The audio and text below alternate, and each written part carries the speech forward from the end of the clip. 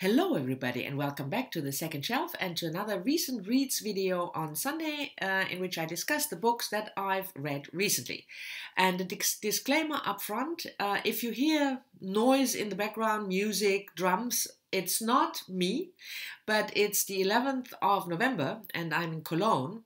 And the 11th of the 11th means the start of carnival season. And they do take their carnival really seriously here in Cologne. So sorry about that. But anyway, back to the books. It was a bit of a mixed bag for me this week.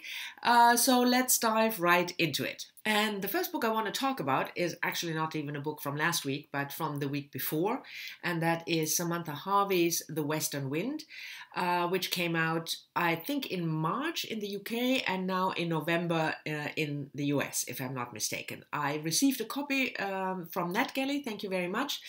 Um, and I talked about this book in the recent reads from last week that I wanted to think about it um, and maybe reread it. I indeed reread parts of it, um, but let me first back up a little and tell you about the author and the book. Samantha Harvey is an um, English author. She lives in Bath in England.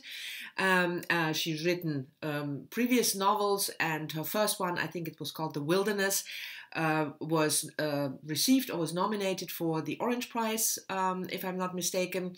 I know I should have checked that. What can you do?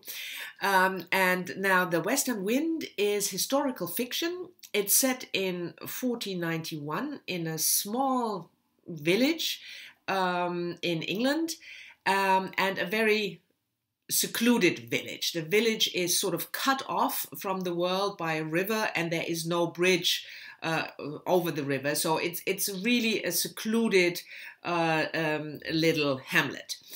Um, the book opens when the uh, town priest, who is also the narrator, the of the book. He tells us the story, uh, and like I said, the book opens when um, the the body of um, the rich Thomas Newman, the rich man of the village, is found drowned in the river. Um, we then go backwards in time. So we start with the third day, as it were, when the body is discovered, and then we go back to the second and the first day um, and the the story what happened to Thomas Newman? Did he commit suicide? Did he just drown? Was it an accident? Or was he murdered? Is revealed through the through telling the story backwards. Um, now the reason that I didn't uh, talk about that book in my last recent reads and that I wanted to you know read parts of it is that I didn't like it. And I felt when I saw the raving reviews on Goodreads that it was probably me and that I didn't get it.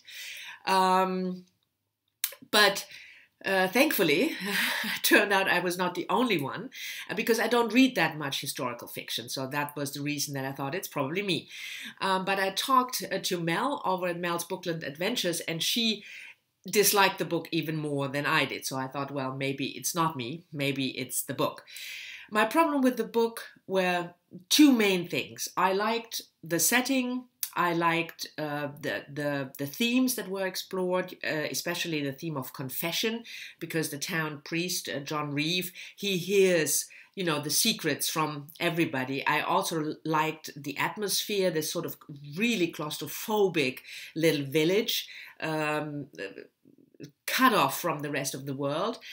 Um, but what I didn't like um, uh, was the the it didn't feel authentic to me as historical fiction.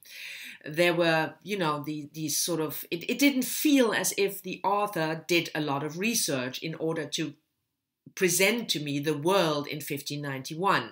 She didn't care whether there was already tea invented uh, at that time, or whether there were female um, head of the parishes, or whether you know the confession um, chamber was invented, and that that just didn't sit well with me. Um, and I had a, a, a, bigger problem also with the structure because you like i said you told the story is told backwards.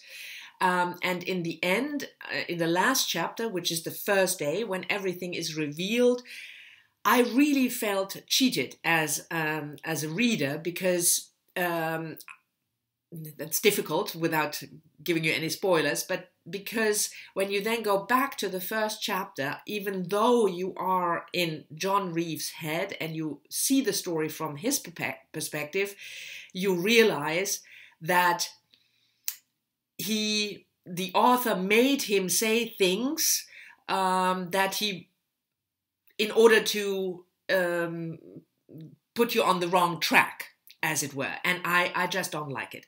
So it was not a successful read for me, but check out the Goodreads reviews. Maybe it's something for you if you're interested in that kind of thing. But for me, it was unfortunately not a success.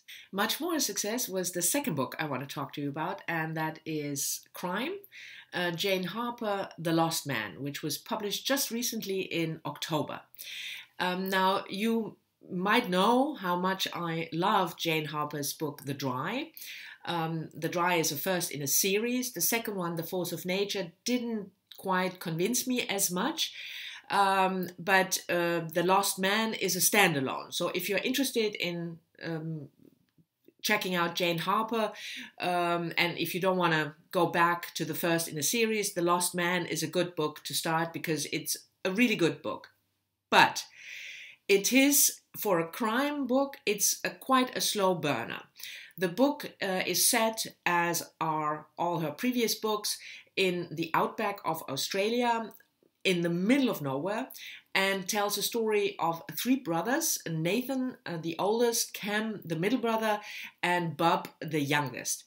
Uh, the book opens when Cam's body is found uh, dead. Um, even more in the middle of nowhere. And it turns out that he, um, I mean, it's very hot there, so he died from dehydration and sun exposure. It's not clear what happened, whether he killed himself or whether he was murdered or whether it was an accident. Um, and then the book slowly uh, develops the story of the three brothers, uh, the family history a little bit, uh, but mainly the story of the brothers and their farms and wives and what happened. And we learn about Cam, especially the victim. Um, but also about Nathan and Bob, and in the end, it's of course revealed what has happened to Cam. But this is not your um, typical uh, thriller or detective story. The detectives in the book play a minor role. It's much more about the family and family secrets. Uh, I still thought it was a really good book. Um, the characters were interesting. Um, the atmosphere was uh, really well done. This, at least for me, not knowing Australia, this this feeling of the outback, uh, the you know the loneliness. For instance nathan he lives alone on his farm. So i thought that was extremely well done. But if you're looking for you know a police procedural or your typical really really fast paced uh, thriller with uh, with cliffhangers um, at the end of every chapter this might not be the book for you. But if you are if you want, want to venture into more uh, whydunit's kind of uh, detective novels, then I can certainly recommend this book. Moving on to book number three, uh, nonfiction, because on the 1st of November, uh, Nonfiction November started. Uh, if you're not familiar with this read along uh, organized by Olive from a book Olive and Gemma from Nonfic Books, I will leave a link to Olive's announcement video down below. You can check out all the details. In short, um, it's a read along that uh, Olive and Gemma organize each year in November in order to encourage us to read more nonfiction. That's basically it. Uh, there are prompts. You can you can you know help you uh, choose books, but the, the the thing is just read more nonfiction. Uh, I made a TBR video trying to, uh, I looked at the prompts and found books that I wanted to read. Uh, leave a link to my TBR video also down below. And last week, I wanted to read my first book for Nonfiction November. And true to form, of course, I picked a book that was not on my TBR and that didn't fit any of the prompts. But hey, what can you do?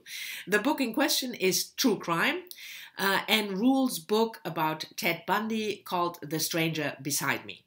The book was first published in 1980 Um, uh, and Ann Rule is a true crime writer. She started off in the police force and then ventured into writing uh, about a true crime.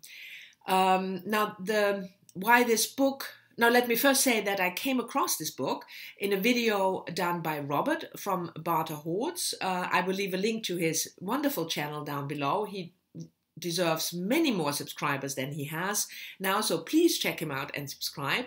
But he mentioned this book, I think, in his uh, Nonfiction November TBR. And I had heard about it uh, because it's, yeah, 1980, uh, the first publishing date, and never read it, so I picked it up. Um, what is really interesting about this book is the fact that Ann Rule uh, not only met Ted Bundy, uh, but became friends with him um, uh, when they she's 10 years older than Ted Bundy. They work together um, in a in an organization that has um, um a suicide helpline. They were colleagues there, uh, and they became friends. And Ann Rule stayed in touch with him uh, even after he uh, was arrested until he was executed. Um, uh, so that makes for a, an interesting um, point of view for the story. Uh, the book then tells um, uh, the, about Ted Bundy's life, but also in great detail about the murders he committed. As a side note, don't do what I did. Read it in bed at night because then you probably can't sleep. At least I couldn't.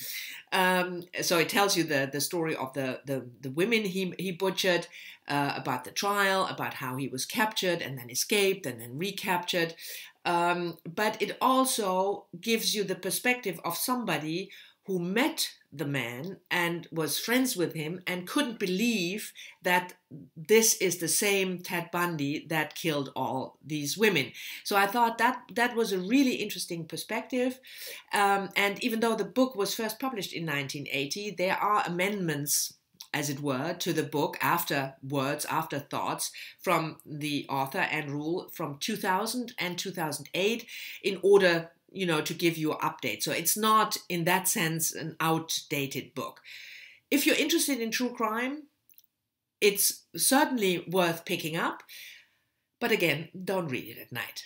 And uh, I will pick up one book from my TBR. I already did as a second read, and that is this Unthinkable by Helen whoops, Thomson uh, about uh, extraordinary brains. So at least I will have read one book of my TBR when a nonfiction November is over. Final book I want to talk to you about is this one, Tsitsi Dangarembga, This Mournable Body. It was just published August 2018, and it is the third book in a trilogy called The Nervous Condition uh, following the life of the same main character, uh, Tambudzai, uh, who is a, a woman, um, 30-ish something woman in here, and is a child in the first book, and then you know we follow her life uh, through. But you can read this as a standalone, like I did, because this was my first novel uh, by this author. So it's not a trilogy in the sense that you have to read all three books in order.